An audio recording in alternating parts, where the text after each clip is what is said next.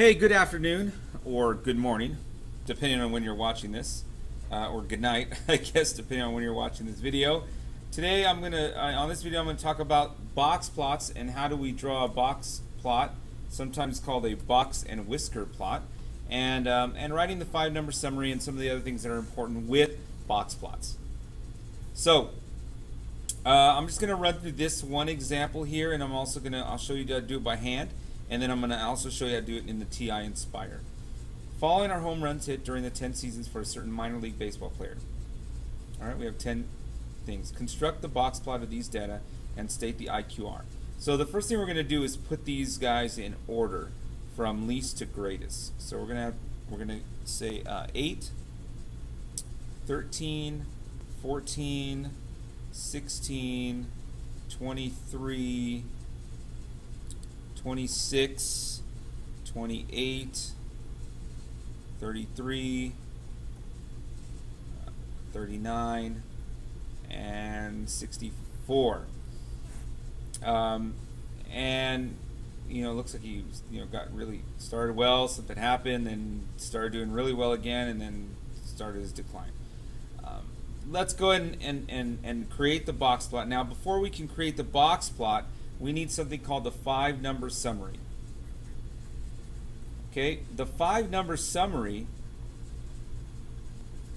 to find that you need to find the min, the, the first quartile,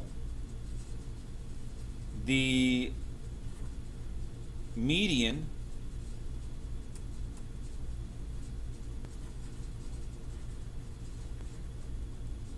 the third quartile, and the max. Okay, one, two, three, four, five. That's the five number summary. So how do we do that? Well, we'll do this by hand here. One, two, three, four, five, six, seven, eight, nine, ten. We got ten things. So to find the median, we're going to go to the middle.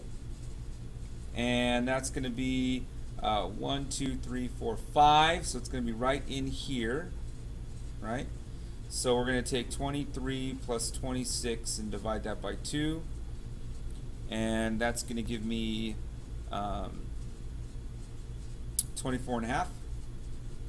So my median is 24.5. My min is 8. My max is 64. Uh, now we find the first quartile. Okay, so here's our median. So we got to go halfway in between our median. 1, 2, 1, 2. Here's quartile 1. Okay, right there. Oops, what am I doing? 14. Here we go. And quartile 3, 1, 2, 1, 2 is right here. Alright, so that's Q3, 33. Alright, so now with this information, I'm going to go ahead and, and draw my, uh, my dot, my uh, box plot. So we're going to draw line for my, oops, that's not what I want to do. Back here. Um, I'm going to draw a line for my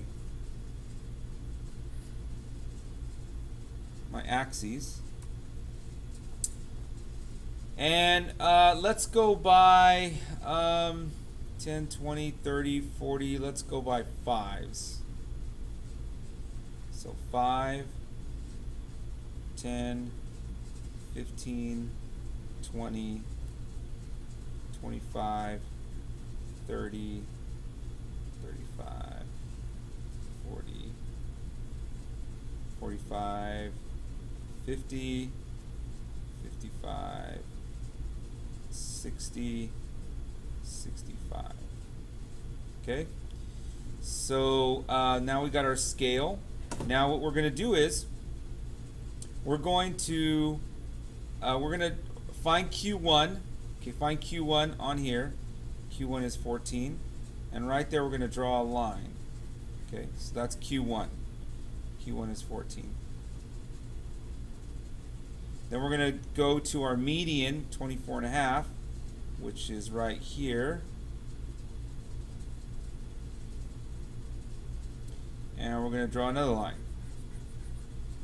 Then we're going to go to our Q3, which is right here, 33. And we're going to draw another line. Okay. Then we're going to connect those.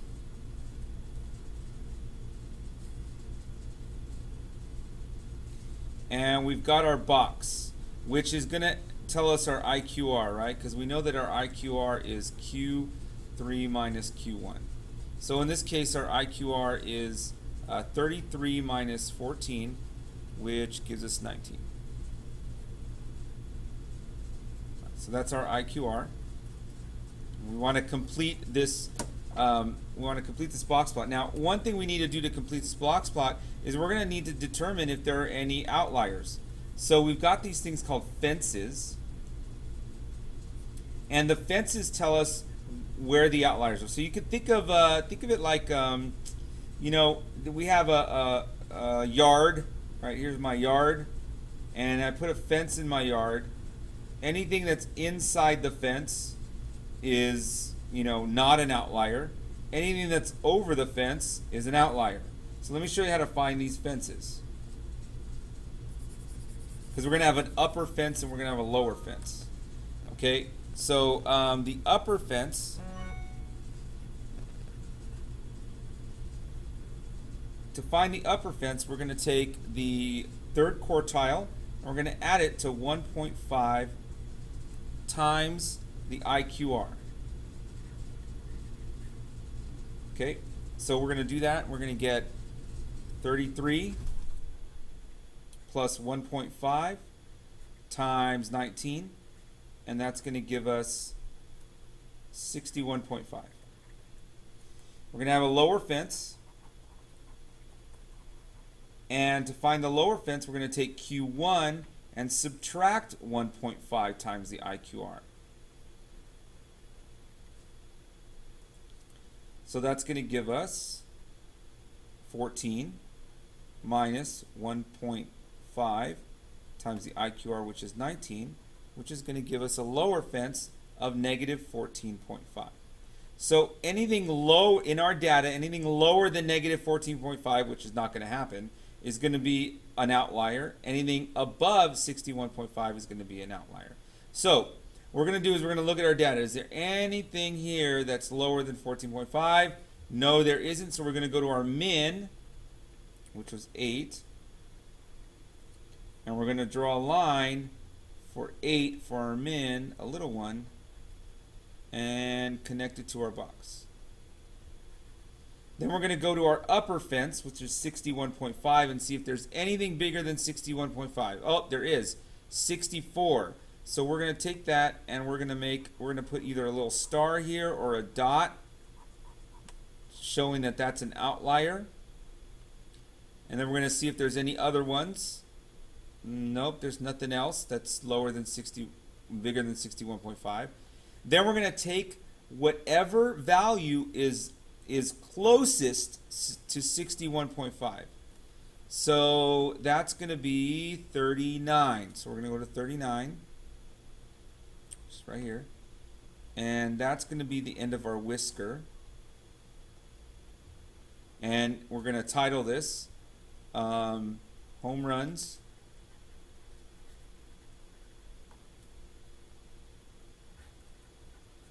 For a minor league player.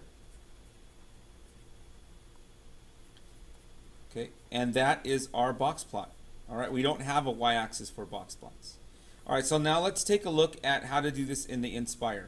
So in the TI Nspire, we're going to um, add a list and spreadsheet, and we're going to go and title this Home Runs. And we're just gonna we're gonna enter in all these data. Okay, so I'm gonna go and enter in all these data. After I enter in all these data, they don't need to be in order, but they're in order in, in this case. Okay, after I enter in these data, I'm going to go into, um, I'm going to add a new page. So Control Doc to add a new page. Let me make this a little bigger for you guys here. Oops, didn't want to do that. Um, we're going to add a data and statistics. Okay, this gives us all our data. On the bottom, we're going to click and we're going to add our variable, home runs.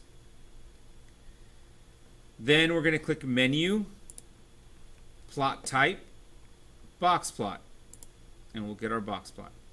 Okay, so notice here we have our min, which is 64. The nice thing is if you hover over the the plot, it'll give you the min, or I'm sorry, the max. It'll give you the max. If you hover over here, it'll give you the next point, which was 39, which is that. So we got when we did it by hand. You hover here, it'll give you your third quartile, Q3. You hover in here, it'll give you your median. You hover over here, it'll give you your first quartile. And over here, you give your eight, which is your min.